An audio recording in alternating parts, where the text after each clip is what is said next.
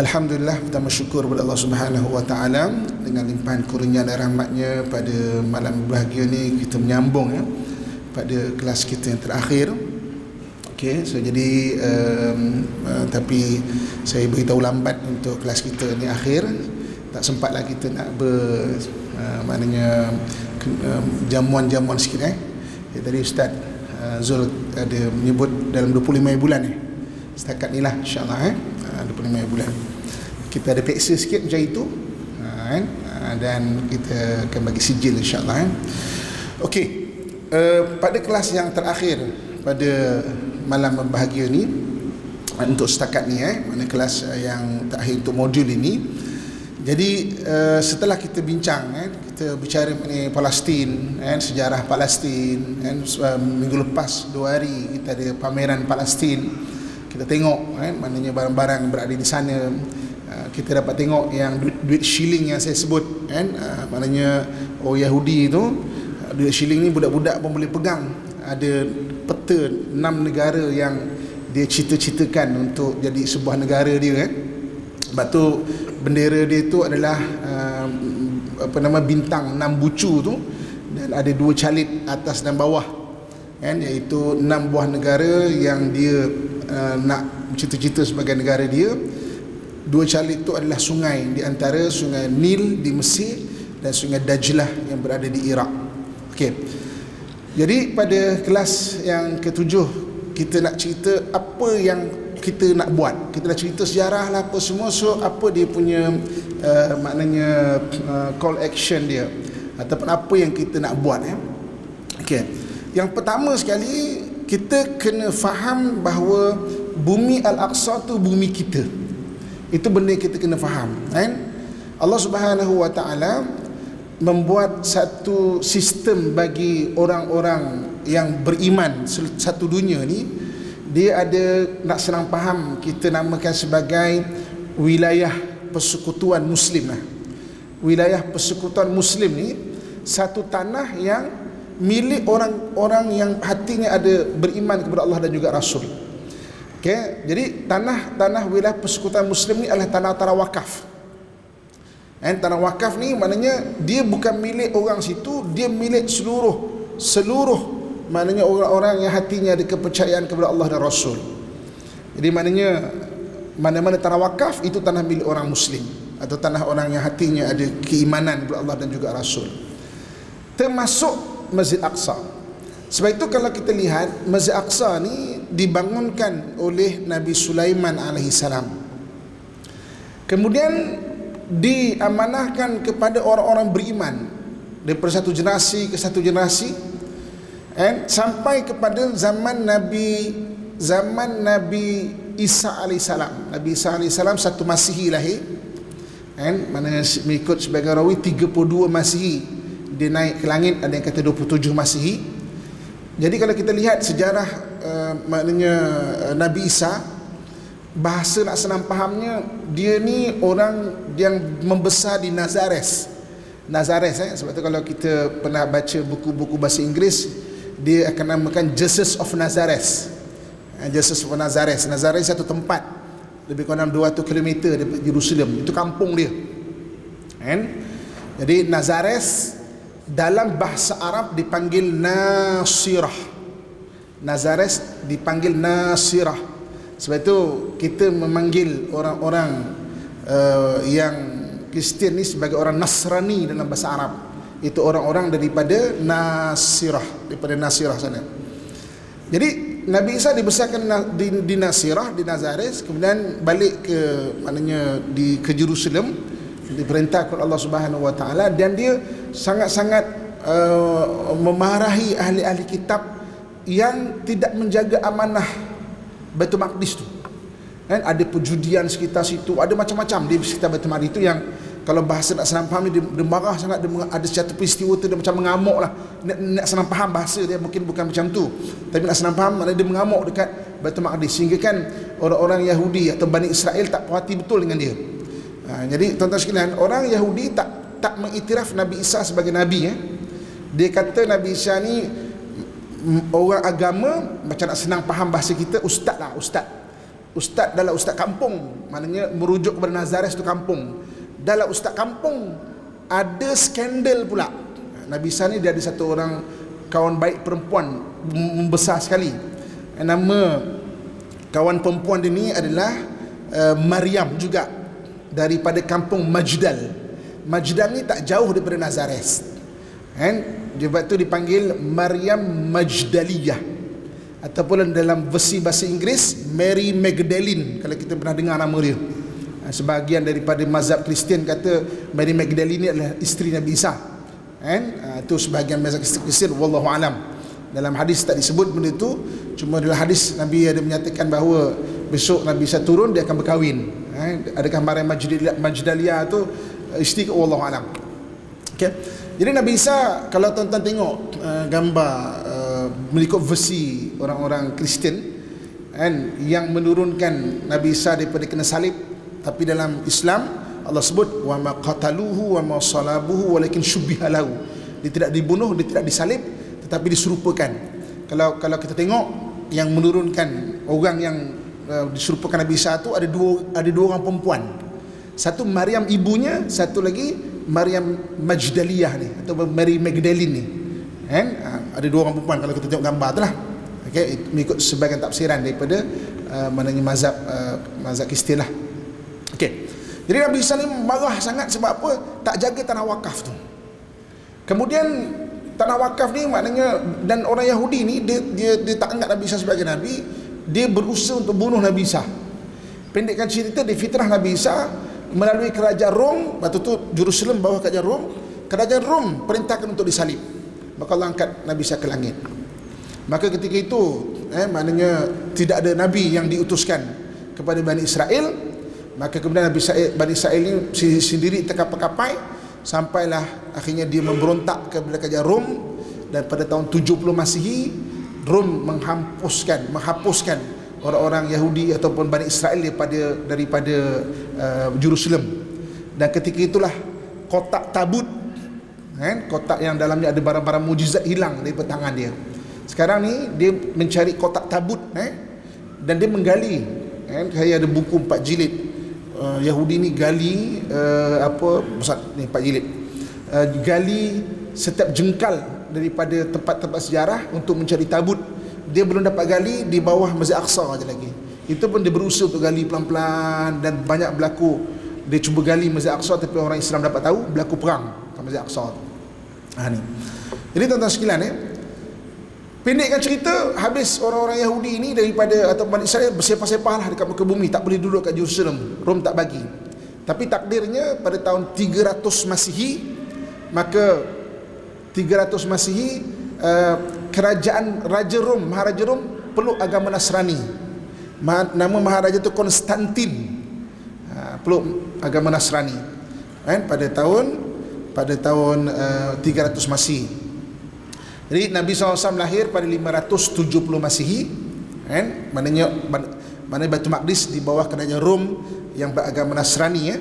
Ha, maka Nabi kita kenal tanah wakaf itu kerana Nabi cerita pada kita dan Nabi cerita kisah yang cukup terkenal pada peristiwa Isra dan Mi'raj Isra Mi'raj eh? Isra Mi'raj ni okay. salinkan saya walaupun saya dah sebut banyak kali tarikh ni uh, cuba uh, kita uh, hafal uh, tiga atau empat tarikh ni Nabi lahir 570 Masihi dapat wahyu 40 tahun selepas itu iaitu 610 Masihi eh? 610 Masihi kemudian Uh, 10 tahun selepas itu Nabi Isra Mi'raj.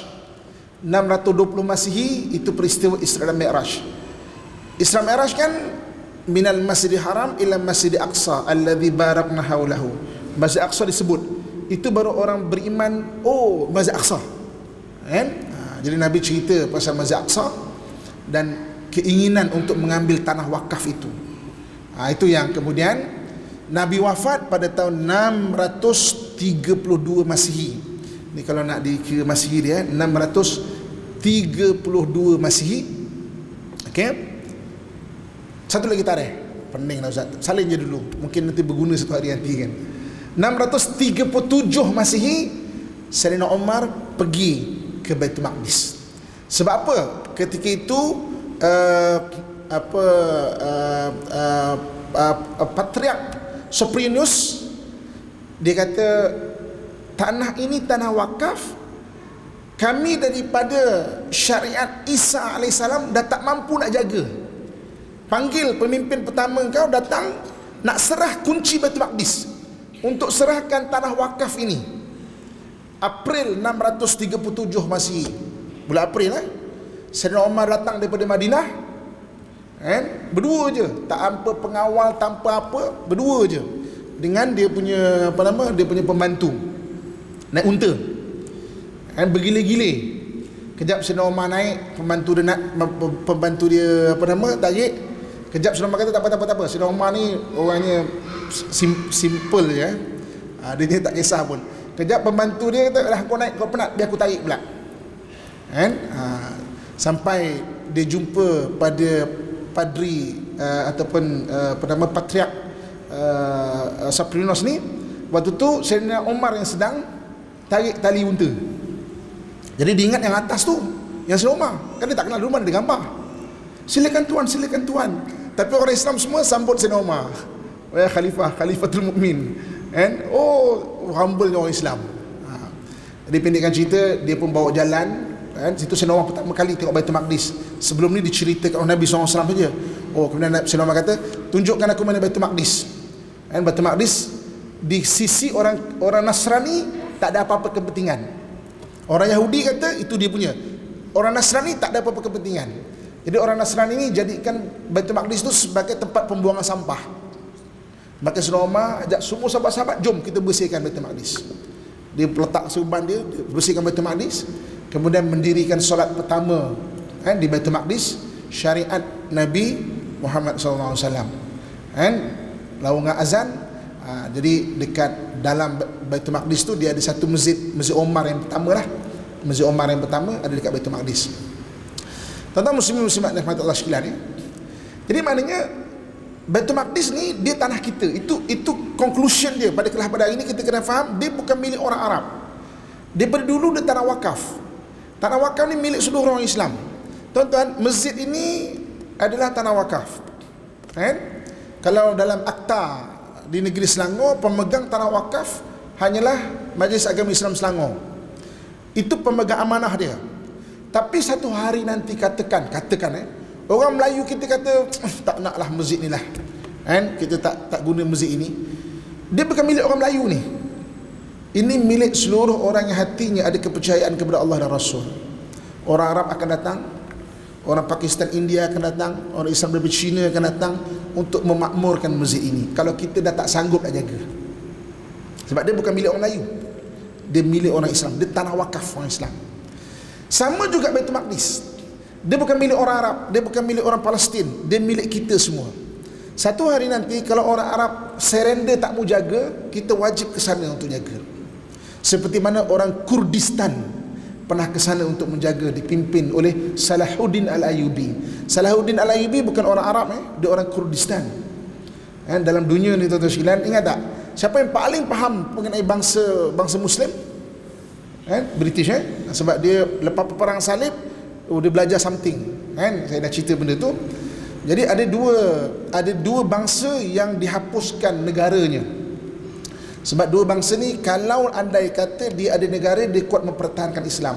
Satu bangsa Kurdistan, satu lagi bangsa Kashmir. Kan? Negara dipecahkan. Bangsa Kashmir dia tidak ada negara sekarang. Sebahagian daripada India, sebahagian lagi ke Pakistan. Jammu Kashmir dan Azad Kashmir. Kurdistan pun sama. Dipecahkan sebahagian ke Turki, sebahagian ke Iraq. Sebab bangsa ni kalau ada negara dia kuat mempertahankan Islam. Kan?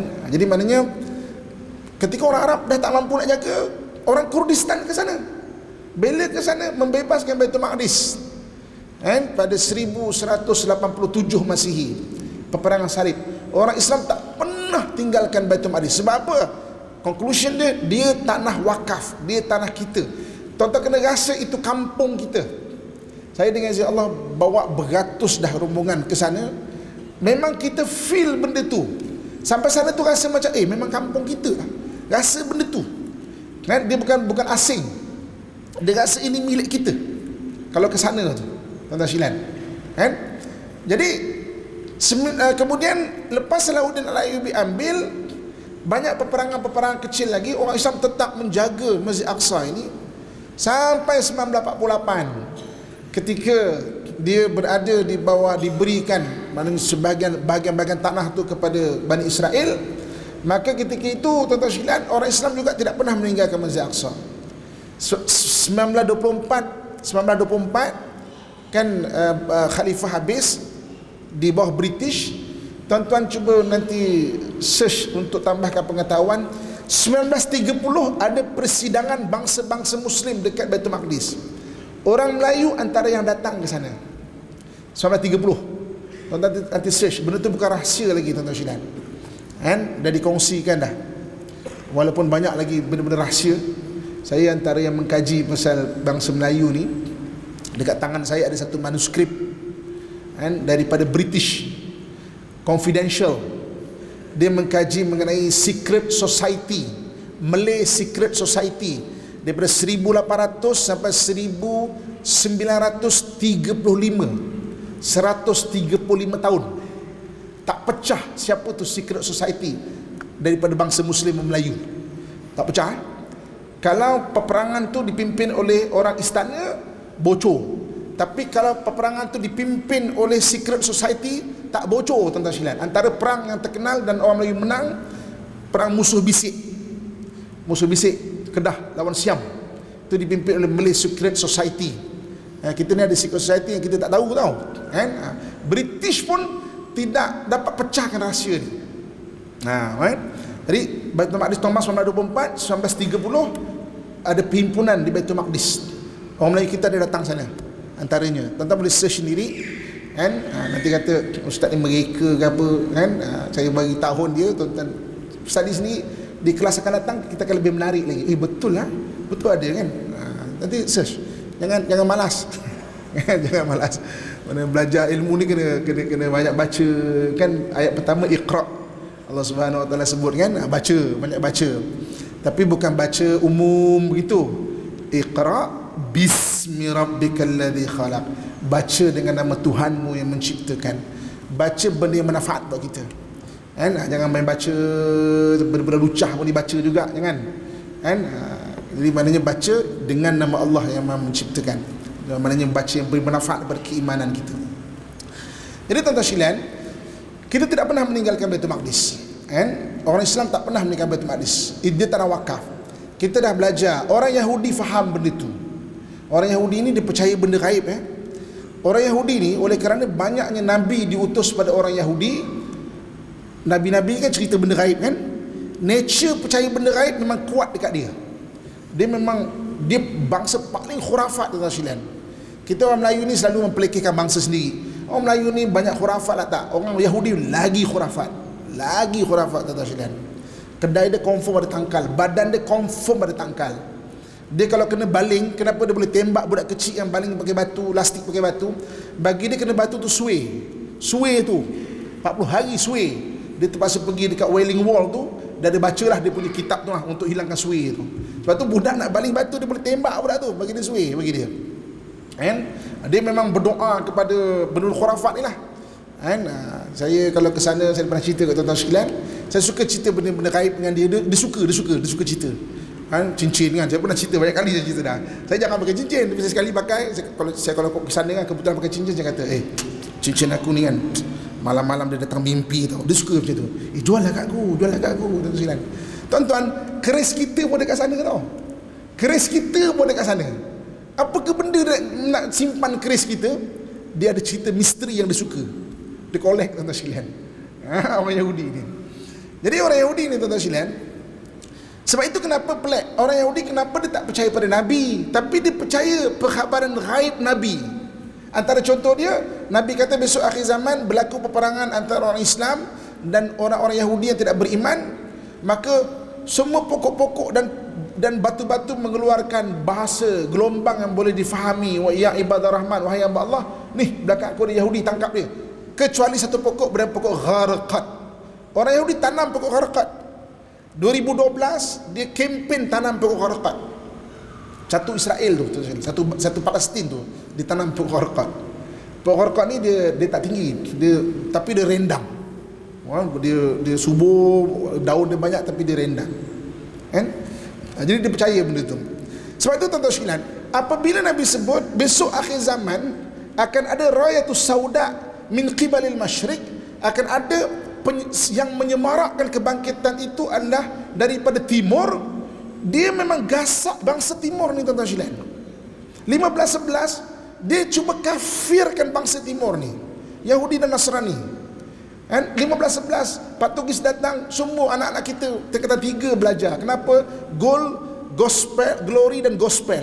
Nak kafirkan. Kenapa kenapa nak kafirkan tuan-tuan sekalian? Sebab bangsa timur ni besok akhir zaman dia penggerak antara penggerak besok. Ha, yang menyemarakkan kebangkitan Islam. Sebab itu tuan-tuan sekalian eh, dia, dia orang tak takut dengan bangsa Arab sekarang. Orang Arab berpecah, bergaduh dan sebagainya. Kan? Tapi kenapa negara kita yang kecil ni tuan-tuan sekalian? Maknanya uh, apa? Uh, menjadi antara menjadi perhatian. Saya kadang-kadang ke sana tu memang berlaku peperang-peperang besar macam ni. Dekat TV dia memang cerita je pasal Malaysia ni. Eh, ini bukan saya, saya buat cerita sebab nak claim kawan-kawan kita bagus sangat. Memang betul tuan-tuan sekalian. Kan? Saya ada, ada rakam satu hari tu berita dia yang membantu di Malaysia dan sebagainya kan tuan-tuan ingat tak ada orang Yahudi kat Malaysia ni ke? Tuan-tuan buka nanti search kat Google buka sekarang buka sekarang eh. Type Ustaz Amin okey Yahudi di Nusantara. 2012 lagi saya jumpa. 2012 lagi saya cerita pasal benda ni. Kita yang oh sepak Yahudi kena tangkap lah apa baru ni kan. Saya cerita 2012 lagi tuan-tuan saya jumpa orang Yahudi kat sana yang fasih cakap Melayu. Saya tanya saya, saya dekat saya dekat dekat Jerusalem. Dia kata pada mana? Oi, siapa cakap Melayu ni kan? Mana? Ada satu orang yang pakai kipah. Kipah ni kipah ni istilah kopiah kecil tu, kan? Kita awak di mana ni? Oh saya di Jakarta. Uish, Jakarta ada Yahudi eh? Ada. Kat Malaysia ada tak? Ada. Dekat mana? Tuan-tuan baca kat blog saya. Saya malah nak cerita kat depan-depan ni. Kan?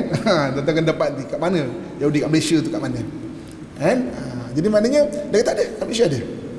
Ha, saya cerita 2012 lagi tuan-tuan sekalian. Kita dapat ni baru 2023, 2024 yang orang Melayu jadi spy Yahudi tu berapa itu tahun 2020 ke. Tapi sebenarnya maknanya awal lagi dah memang memang dia ada kat sini tuan-tuan sekalian. Kenapa dia ada ada kat sini? Tak ada apa-apa pun kita. Di sel pun dah naik kan? Apa yang ada tuan-tuan sekalian? Minta maaf eh, yang itu kena cut lah ya.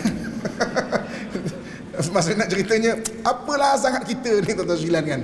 tapi ada yang Nabi sebut yang dia percaya Yahudi percaya benda macam tu kan? Ada benda yang dia percaya. Yang kita lalai kita tak tahu pun apa kelebihan kita ni. Kita bangsa timur tuan-tuan sekalian. Tuan-tuan suka ke tak suka kita bangsa timur yang dalam hadis sebut min qibalil masyriq daripada sebahagian timur tu oleh kerana hadis ini sebut daripada Madinah timur Madinah mana? Wallahu alam. Mungkin Pakistan mungkin India. Tapi kita Nusantara juga adalah timur. Mungkin Cina, mungkin Jepun. Kan? Mungkin bangsa Jepun Mungkin bangsa Cina Mungkin kita, mungkin India, Pakistan kan? Mungkin mana belah timur lah kan? Ha, ni tuan-tuan silah, eh? Jadi kita kena faham di tanah wakaf di tanah kita ha, dan Yahudi tahu ha, besok nanti akhir zaman yang menyemarakkan tu daripada mana kan ha, saya dah cerita dah pasal kelebihan bangsa Melayu kita kan yang bukan kita klaim orang orang orang Nasrani sendiri orang-orang barat sendiri kan? Kata orang Melayu ni dia ada dia ada dia ada satu sifat berani yang diistilahkan sebagai amok. Dia kalau sampai satu stage dia dah hilang rasa takut apa-apa tu tak ada. Itu itu nature ada kat darah orang Melayu kan? Ha, tuan-tuan kalau kalau kalau maknanya itu yang ada pada bagian kita ni ya. darah kita ni ada ada kan bukan yang mengamuk akak-akak mengamuk lelaki tu bukan eh? Ha, ni memang darah amuk ni maksudnya dia berani. Lepas tu dia berani. Dia lembek lembek lembek lembek. Kena cara dia kan kena bimbingan dia. Apa tuan-tuan sekalian eh? Ha, dia, dia jadi orang yang orang yang maknanya tak ada sebab takut tu ha, ni. Jadi kita kena faham bahawa sana tanah wakaf. Dan kita kena kena kena kena ada ambil tahu mengenai sana. Mula-mula kena ambil tahu kan? Sebab bab kata hadis sahih Melayu. Hadis sahih Melayu eh? Tak kenal maka tak cinta. Ha. Kalau kita tak kenal sana kita takkan rasa sayang kat sana tu. Ha betul tuan-tuan Alhamdulillah kelas kita ni tujuh kelas. Yang sebelum ni enam ke tujuh macam tu. Eh, tuan-tuan eh, tengok balik dengar balik biar kenal kat sana tu apa yang ada di sana tu. Kan dan muslimat rahmatullah sekalian okey. Jadi tuan-tuan sekalian pertama kita kena faham itu tanah wakaf benda yang kedua yang kedua iaitu mengenai um, satu hadis ketika Nabi SAW cerita mengenai Baitul Maqdis ni kan? Hadis daripada Maimunah. Jadi uh, uh, uh, Maimunah berkata bertanya kepada Nabi SAW mengenai Baitul Maqdis dan, dan sahabat excited nak tahu mengenai Baitul Maqdis ni. Maka satu orang sahabiah Nabi sahabiah ni sahabat perempuan ni sahabiah Nabi SAW berkata wahai Rasulullah afitna fi Baitul Maqdis. Ceritakan kepada kami fatwakan kepada kami macam mana Baitul Maqdis tu. Kan macam mana Baitul Maqdis tu? Maka Nabi kata Baitul Maqdis ardul mahsyar wal mansyar. Dia adalah bumi tempat di ni bahasa nak senang faham ya mahsyar ni maknanya dikoyakkan dimensi untuk ke padang mahsyar tu itu bermulanya di situ. Ha, sebab itu kenapa Nabi Isra Mi'raj daripada Masjidil Haram ke Masjid Aqsa. Sebab dia memang dia ada dimensi benda-benda gaib kat situ. Jadi tanah berlaku pada mahsyar nak senang faham dikoyakkan dimensi itu untuk masuk ke dalam mahsyar bermula di situ dan dimensi dibangkitkan juga bermula di situ. Ardul mahsyar wal mahsyar. Maka nabi kata utuhu fasallu fihi. Datanglah datanglah untuk sembahyang dekat Baitul Maqdis. Datanglah untuk sembahyang dekat Baitul Maqdis. Jadi tuan-tuan sekalian saya pernah bincang dengan imam satu Masjid Al-Aqsa Syekh Yusuf Abu Sulainah kan? Ha, jadi saya kata kan ada fatwa kata jangan datang sana kan? Ha, kenapa maknanya ada fatwa yang kata jangan datang sana? Ketika Israel minta negaranya itu diiktiraf maka ketua-ketua negara Islam tak boleh nak mengiktiraf dia sebagai sebuah negara. Orang barat kan sebuah negara itu didaftarkan nak jadi sebuah negara kena daftar bawah PBB kan jadi orang barat nak iktiraf dia punya hak. Tapi kita orang Islam tak boleh nak iktiraf dia sebagai sebuah negara. Jadi kalau datang pemimpin negara sampai akhirnya boleh mengiktiraf sebuah negara jangan datang. Tapi kita ramai-ramai kena datang. Kan? Saya kata habis ada fatwa beria dia kata kalau kau perasan fatwa untuk jangan datang sana yang paling menggembang-gemburkan adalah orang Yahudi sendiri. Orang Yahudi sendiri tuan-tuan boleh cek Orang Yahudi sini antara yang mengembang-gemburkan fatwa jangan datang sana. Tuan-tuan sekalian, ketika kalau kita menelusuri kota Baitul Maqdis, tuan-tuan akan rasa sayu dekat hati orang Islam terpaksa menjual barang-barang Nasrani, salib-salib, patung-patung. Saya pernah tanya Imam Al-Aqsa, apa hukum dia jual patung? Dia kata bagi fatwa di sini terpaksa diharuskan. Sebab apa? Orang Islam hanya datang 30 ribu je setahun. Orang Nasrani lebih 3 juta. Jadi orang Islam datang tak datang dia sukalah. Jadi Baitul Maqdis tu kosong. Jadi orang Islam terpaksa menjual barang Nasrani itu sebab apa? Biar nak bayar cukai. Kalau tak bayar cukai dirampas bahagian-bahagian kedai untuk di sana tu. Ha, sebab itu kalau pergi sana sayu hati ya. Kan? Saya pernah satu ketika tuan-tuan sekalian memula datang tu kita tak tahu. Eh, hadiah-hadiah yang ini hadiah Uh, maknanya uh, yang orang Yahudi ke ataupun orang Arab buat kita tak tahu. Waktu tu memula tak tahu. Kita tak tak tahu. Jadi saya nak beli satu souvenir satu nak beli satu hadiah. Dia, dia tanya saya kau muslim ke? Dia kata muslim kau jangan beli benda ni boleh tak? Sebab benda ni orang Yahudi yang buat. Kan? Saya kata oh kan? Mana ya saya muslim. Habis mana? Mana yang barang orang Islam buat? Ha ni ni barang orang Islam buat. Kan? Tuan-tuan rasa sayu orang sana tuan-tuan sekalian kalau kita datang suka sangat dia kan sampai dia nak bawa yang bawa bas tu semua tidak bergaji tau kat sana kalau orang datang. Kenapa dia nak orang Islam? Dia suka bawa orang Islam. Jadi kita yang sedekah-sedekah tu bagi kat dia. Dia kata aku aku bawa Islam free pun tak apa. Ha tuan silakan eh? jadi ini ini maknanya itu Baitul Maqdis. Jadi Nabi sebut maknanya utuhu fasallu fihi. Mana kau semayanglah kat sana. Berusahalah untuk datang untuk semayang sana kerana kata Nabi SAW sembahyang dekat sana tu kelebihannya fa inna solata fi ka alfa solatin fi ghairi macam seribu solat di tempat yang lain mengikut sebagai hadis yang lain 500 solat kan di tempat-tempat yang lain mana besarnya uh, solat di Baitul Maqdis tu. Kemudian sahabat kata, macam mana kita nak datang kalau tak boleh datang? Kalau dulu ada orang Rom, Ara'aita in lam astati' an an atahammal ilaih. Eh, maknanya ada orang Rom dulu dia susah datang. Macam mana? Maka kata Nabi SAW Patah di lahu zitan Yusarij fihi. Kau bawa minyak untuk menyalakan lampu-lampu yang di sana. Kan? Faman fa'ala fahuwa kaman atahu. Siapa yang bagi minyak Macam dia datang sembayang di sana. Maknanya bagi bantuan lah Kalau dulu nak, menya, nak, nak menyalakan api ni Maksudnya menyalakan api ni Maknanya dengan minyak. Dekat dalam Baitul Maqdis itu sendiri Dia ada satu kolam Kolam minyak zaitun Baitul Maqdis ni tuan-tuan sekalian dia ada lima buah masjid eh. Kan? Jadi orang Yahudi nak biar kita tahu masjid yang kecil depan tu je. Tapi kompleks tu semua adalah Baitul Maqdis. Dia ada lima buah bangunan masjid. Dua atas tanah, tiga bawah tanah. Termasuk kubah kuning itu sebahagian daripada Masjid Aqsa. Batu mula-mula masuk di belakang je dah ada dah ada tempat wuduk, tempat untuk solat uh, tahiyatul masjid kalau tak nak pergi depan. Tapi Yahudi nak kita tahu biar kecil tu je. Biar kalau kalau diambil yang lain kita tak, tak rasa sensitif pun.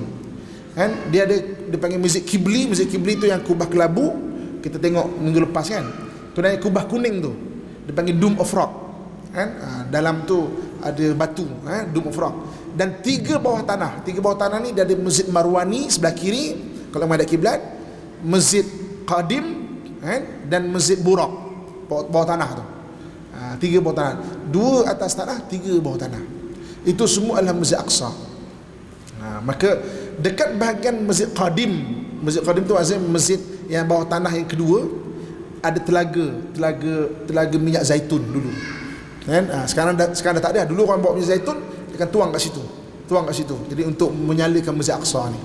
Ha, siapa yang membantu kan di sana maka macam dia datang ke sana tu. Okey Muslimin dan muslimat rahmatullah sekalian. Jadi Masjid Al-Aqsa ni allazi barakna haulahu yang kami berkati sekeliling dia. Jadi bukan saja sekitar Masjid Al-Aqsa. Apa takrifan berkati sekelilingnya? Jadi ulama tafsir, mufassirin mentafsir. Ada yang mentafsir Jerusalem itu, Baitul Maqdis Jerusalem. Ada yang kata Baitul Maqdis. Baitul Maqdis ini dua sebuah negara kan? macam nak senampam sekarang Palestin tu lah negeri yang ber, diberkati Masjid Al-Aqsa kan? alladhi barakna haulahu yang kami berkati sekelilingnya ha, mana sampai ke Al-Aqsa sampai apa itu semua banyak tanah-tanah wakaf tuan-tuan syaitan di Gaza berbanyak masjid-masjid kan? yang tanah wakaf itu masjid kita tu roboh dibom biarkan kita bangunkan balik dirobohkan kita bangunkan balik tuan-tuan syaitan Sampai dia pelik Eh tak Apa orang Islam Tak tak erti serik-serik ke? Kita pun Eh bangunkan balik. Itulah orang Islam. Baik itu tanah kita.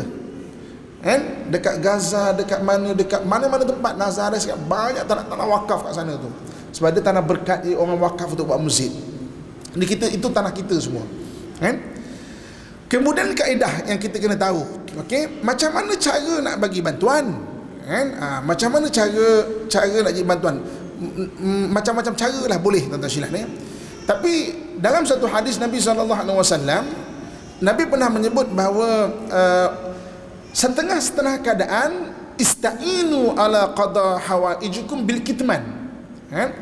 Kamu minta tolong pada hajat-hajat kamu itu dengan jalan senyap-senyap. Okey. Jadi kita boleh memilih untuk meruar-ruarkan ataupun jangan jalan senyap. Kan? Itu itu terpulang kepada selesa kita. Janji fikir nak bantu di sana. So ada dua ada dua cara. Satu jalan war-warkan. Maknanya oh iklankan apa semua tuan-tuan sekalian kan? Kena tahan tak apa. Ha? lawak maknanya bawa lagi. War-warkan biar orang tahu oh di Masjid Aqsa tidak keseorangan.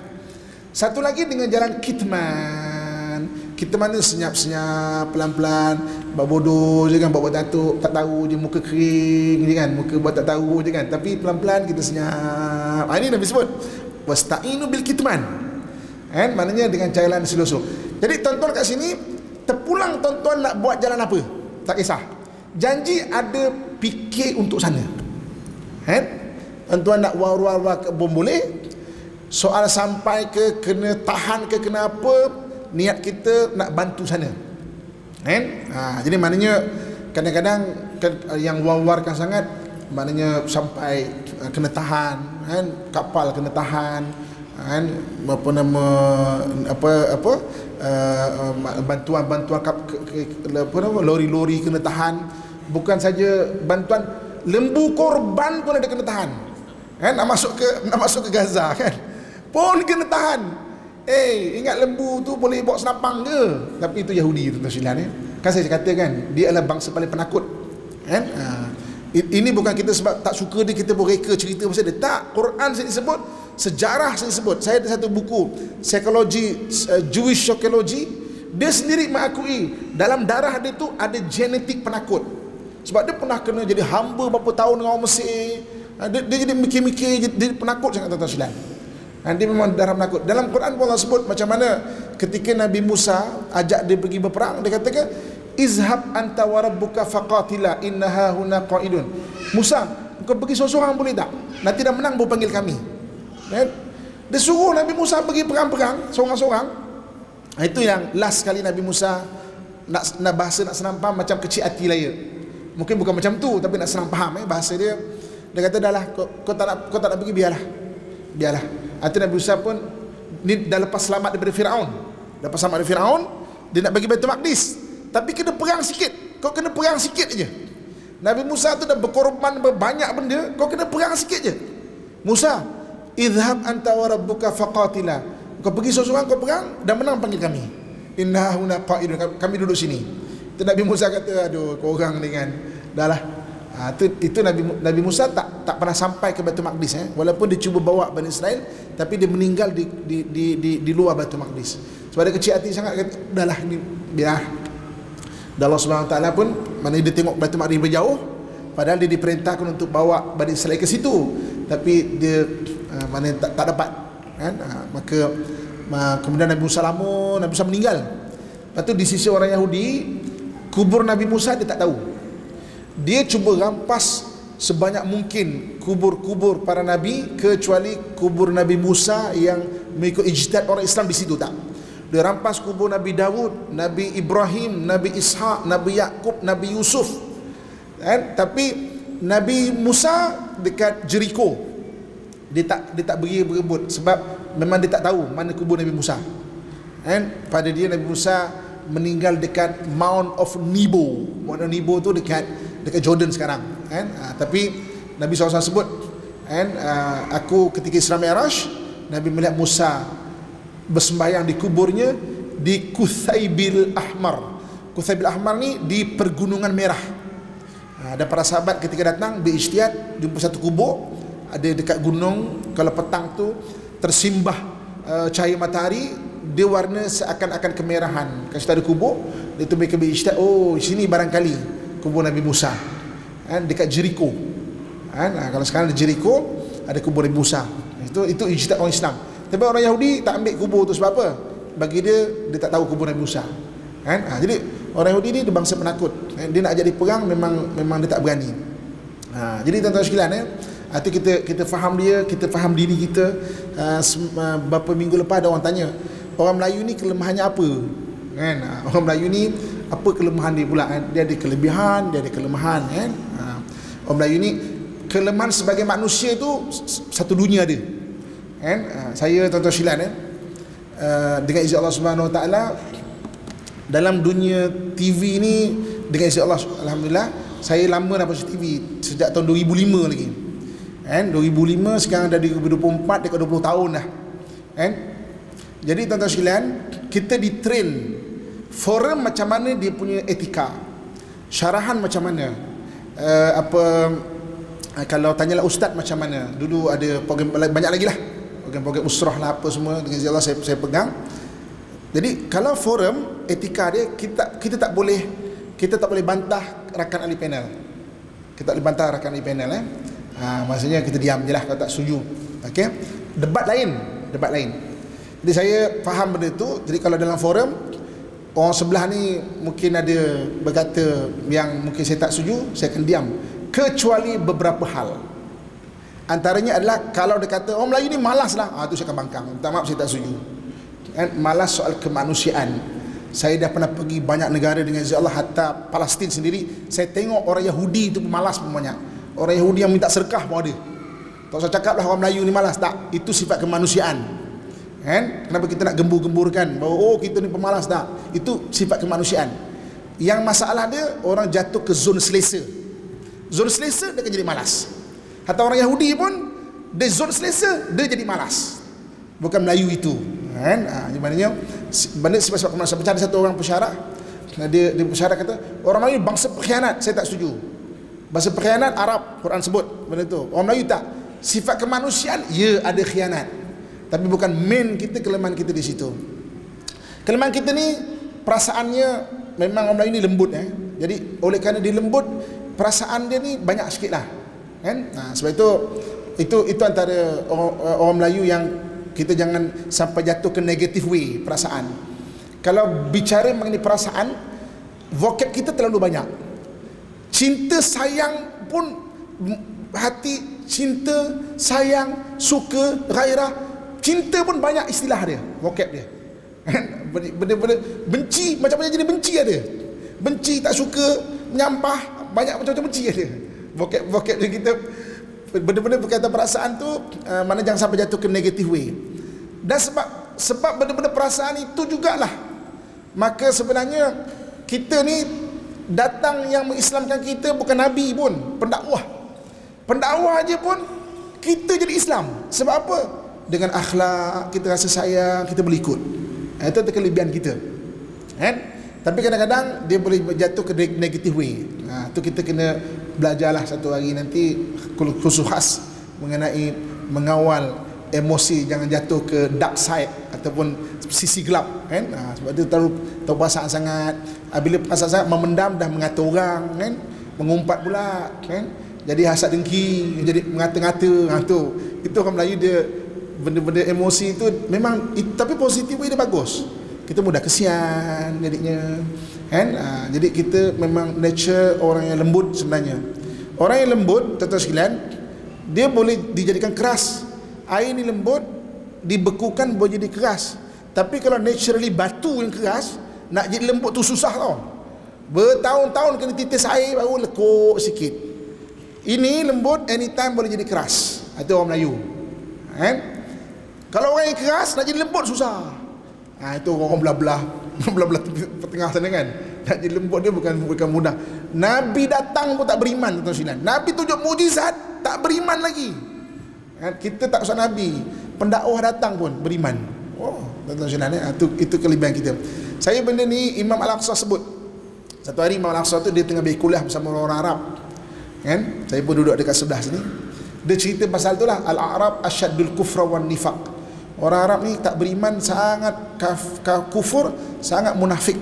Khianat lah eh, sangat munafik. Lepas tu dia, dia, dia, dia tunjuk kat saya. Dia kat saya tidur kat ni kan.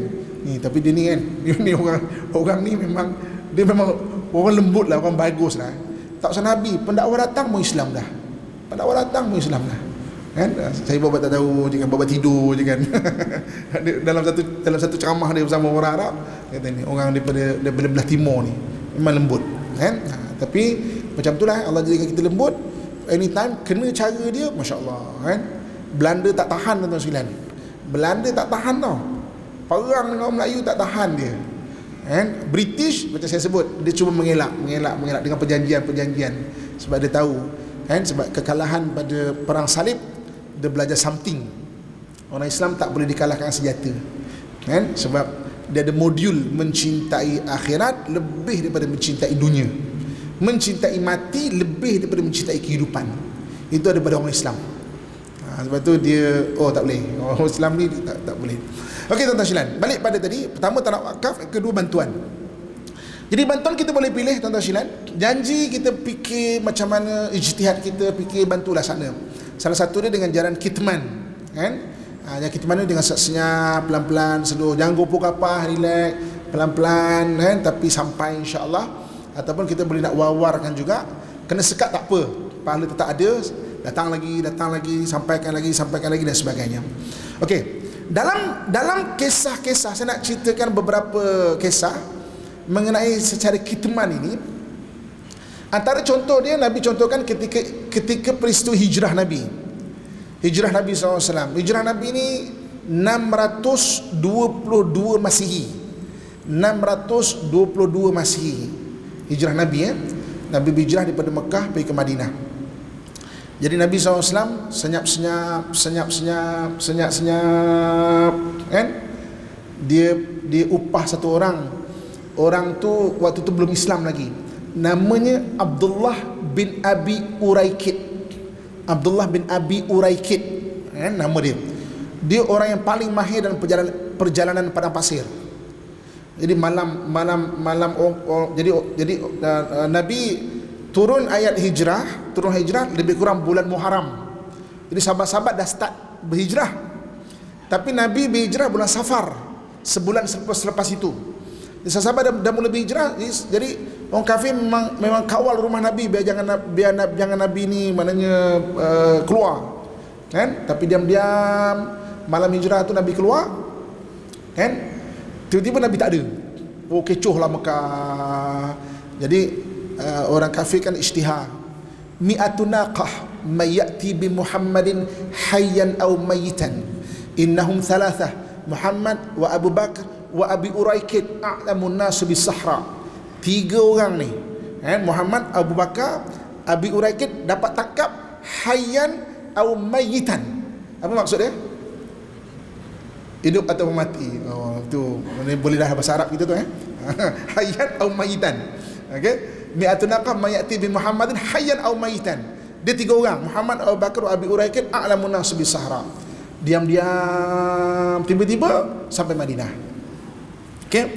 Antara lain adalah macam mana sahabat mengalahkan Parsi. Tentang silan ni. Ha. Kota Parsi ni satu kota yang pelik tau. Islam ni Masya Allah. Kan? Tentera yang baru boleh mengalahkan kerajaan seribu tahun. Sasanid dekat seribu tahun. Kan? Maknanya Parsi dekat seribu. Sangat pengalaman berperang. Rom seribu tahun sangat berpengalaman dalam perang. Tiba-tiba datang orang Islam kalahkan dua-dua ni Rom dan Parsi.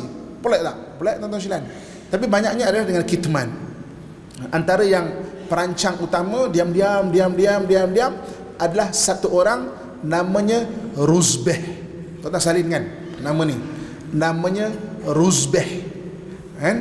Ruzbeh ni tuan-tuan silan dia satu orang Parsi satu orang Parsi Rusbeh ni satu orang Parsi orang Parsi ni dia yang akan kalau dia ada mufti mufti mufti uh, Zoroaster Zoroastrian tu penyembah api tu orang Parsi dia dia dia akan dia akan rekrut dua orang budak daripada kecil orang budak untuk dipilih ganti dia. Nanti kalau ini budaya orang orang orang orang, orang Parsi dulu ya. Nanti dah besar nak menggantikan dia dia akan pilih final seorang akan dibunuh. Seorang akan dibunuh. Seorang aja. Seorang ni nanti akan dua dua lagi budak. Jadi antara yang dipilih maknanya untuk menggantikan mufti ni namanya Ruzbeh jadi sebab Ruzbeh yang terpilih kawan dia akan dibunuh. Jadi Ruzbeh kata eh tak naklah kesian kawan aku biar aku lari je. Ha, itu dia lari daripada kerajaan Parsi. Kan? Kemudian dia, dia berguru dengan dengan orang Nasrani seorang demi seorang sampai orang Nasrani itu sampai satu satu ketika eh macam mana macam mana kalau kau meninggal? Dia kata jumpa guru ini. Last last kali macam mana kalau kau meninggal? Aku dah tak adalah. Kau jumpa satu orang kat tanah Arab dia tu dapat wahyu dia nabi. Kau kena jumpa dia. Maka meninggal guru dia Ruzbeh pun pergilah nak cari satu orang ni yang dapat wahyu di tanah Arab ditipu kena jual sebagai hamba dekat Madinah Ruzbeh ni Maka pendekkan cerita Nabi berhijrah jumpa Ruzbah ni. Jumpa Ruzbah ni. Kan? Antara yang dia tahu adalah di belakang Nabi itu ada tanda alamat. Ada ada ada kecil tu dipanggil khutmun nubuah. Maka Nabi itu. Dia pun masuk Islam. Nabi beri nama baru kepada dia Salman Al-Farisi. Salman Al-Farisi. Salman Al-Farisi namanya Ruzbah. Kan? Jadi sebenarnya Salman Al-Farisi yang diam-diam diam-diam merancang macam mana orang Islam boleh mengalahkan kota Parsi yang berada di Tispun Tispun ni sekarang ni Baghdad lah yang kan kan Nabi kan kena koyakkan surat dia dekat istana Tispun jadi tuan-tuan tanah Parsi ni dia ada dua. Satu tanah dataran satu lagi tanah pergunungan. Kan? Jadi orang Parsi dapat dikalahkan di tanah dataran di ram, maknanya dapat orang Islam dapat dapat tawan istana dia dekat Tispun kan? Pada 636 Masihi 636 Masihi jadi orang Parsi ramai-ramai lari pergi kawasan pegunungan pula. Kan? Yang dekat tanah dataran ni nama peperangan tu peperangan Qadisiyah. Tuan-tuan salin nanti search baca peperangan Qadisiyah. Qadisiyah eh? 636 Masihi kemudian uh, lari dekat kawasan pegunungan pula kalah peperangan terakhir dipanggil peperangan Nahawan. Peperangan Nahawan pada 642 Masihi Nah, tu 42 Masihi peperangan Nahawan. Sekarang Nahawan dekat Isfahan dekat sekitar Isfahan tu. Ha, itu, itu Nahawan yang baru ni perang eh? ya tanah, tanah Parsi kawasan pegunungan. Macam mana Islam boleh kalahkan waktu singkat? Bil kitman dengan cara senyap-senyap rancang tak perlu heboh-heboh runtuh Parsi. Tak perlu heboh-heboh dapat tahun Baitul Maqdis. 600 berapa? 37 masih tadi kan? Kan? Diam-diam dapat kalahkan Rom pada oleh Muhammad Al-Fatih 1453 masih diam-diam. Jadi maknanya nak bantu pulang pada kita ada dua pilihan. Sama ada bil kitman ataupun dengan jalan mewawarkan betul-betul lah. So tuan-tuan pilihlah antara dua mazhab ni ya. mazhab membantu ni ya. pilihlah tuan-tuan silan eh. tapi janji fikir itu yang penting. Sebab itu tanah kita. Janji fikir. Kan? Nah, kita tak tahu hari ni kita bantu satu hari nanti mana tahu Allah pilih anak keturunan kita untuk berada di sana. Oh, untuk sama-sama membebaskan Baitul Maqdis satu ketika itu. Kita tak tahu tuan-tuan bila bila kita tak tahu? Macam covid tiba-tiba boleh jadi. Ha, kita tak tahu. Bila ni wallahu alam. Kan boleh boleh tiba-tiba boleh jadi. Kita jangan lupalah amalan kita cara kita berfikir. Cara berfikir penting. Ha, macam mana nak bantu sahabat-sahabat kita kan? Ha, dan cara berfikir seorang muslim. Itu penting tuan-tuan eh? Ha, cara kita memandang dunia itu penting. Cara kita memandang kehidupan itu sangat penting. Perbetulkan benda itu dalam kehidupan kita. Jadi saya rasa setakat saja dulu kan? Kesimpulan daripada kelas kita. Dua benda yang kita kena faham Palestin sebagai tanah wakaf. Yang kedua bantuan untuk ke sana kan? Jadi mudah-mudahan uh, kita kongsi sebanyak uh, tujuh kali kelas menambahkan kefahaman kita mengenai Palestin dan mudah-mudahan hati kita maknanya merapat uh, di tanah wakaf yang dijanjikan Allah Subhanahu Wa Taala terutamanya kita sebagai anak-anak timur yang maknanya disebut dalam hadis Nabi SAW dan peranannya dalam akhir zaman ketika peperangan akhir zaman nanti. Sekian saja mudah beri manfaat kepada kita kan doakan saya insyaallah saya dalam misi untuk ke sana waktu dekat ni. Aku lu kalimah sami'tum astaghfirullah li wa lakum. Assalamualaikum warahmatullahi wabarakatuh.